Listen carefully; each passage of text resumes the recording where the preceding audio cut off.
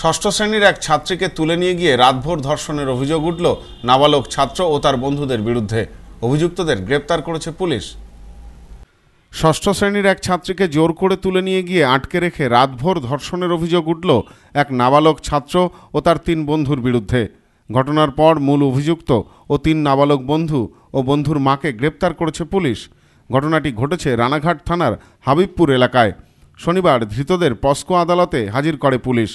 জানা গেছে, বৃহস্পতিবার বাড়ির পাশের একটি মেলায় গিয়েছিল ওই ছাত্রী। সেখান থেকে বাড়ি ফেরেনি সে। পরদিন বাড়ির পাশ থেকেই তাকে উদ্ধার করে পরিবারের লোকেরা। অভিযোগ, অভিযুক্ত যুবক তাকে জোর করে তুলে নিয়ে যায়। এক বন্ধুর বাড়িতে নিয়ে গিয়ে মাদক খাইয়ে বেহুশ করে সারা রাত ধরে তাকে ধর্ষণ করে। পরদিন সকালে বাড়ির পাশে তাকে ছেড়ে দেয় অভিযুক্তরা। পরিবারের পক্ষ থেকে রাতেই অভিযুক্তদের নামে থানায় অভিযোগ দায়ের হয়। শনিবার ধৃতদের গ্রেপ্তার করে পুলিশ। ঘটনার তদন্ত শুরু হয়েছে। বাড়ি ওই এসে চারজন ছেলেকে আশ্রয় দিয়েছে। দিয়ে সারা রাত কেটেছে তারপরে বেলা বারোটা নাগাদ আমরা স্কুল থেকে মেয়েকে উদ্ধার করেছি।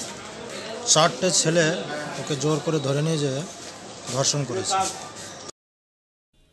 Bureau report news no man's land Ranaghat.